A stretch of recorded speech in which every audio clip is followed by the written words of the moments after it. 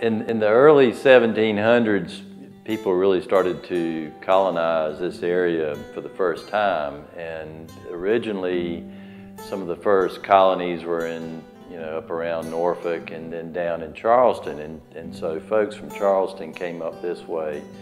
And they were the Moores, the Eagles, uh, the Davises, the Quince families, to name a few, the Waters.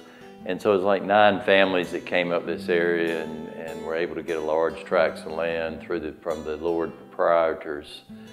One of the areas was our area right here, River Bluffs. So originally there were two plantations. There was the the Rose Hill plantation, which is just to the north and encompassed some of this land, and then the the um, Rock Hill plantation. And um, and so this land has basically been undeveloped ever since then. There is, um, it was left pretty much just like it was, and we have a very mature growth of forest on the majority of it. The, um, some of the histories, we, when it was first discovered, there's a wreck that's called the Rose Hill Wreck near our border to the north of our property.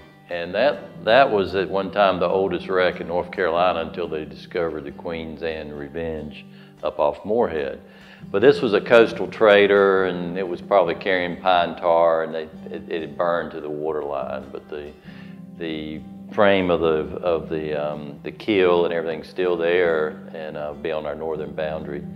There's also a cemetery from the Davises that we have on the site that we're preserve and preserving, and we've already done a lot of work on that. It had been vandalized over all the years, and we refinished the uh, crypts and glued them back together, and the um, big marble uh, slabs that were on top, and you can read the engravings on them, and the uh, all date back to the you know early 1800s.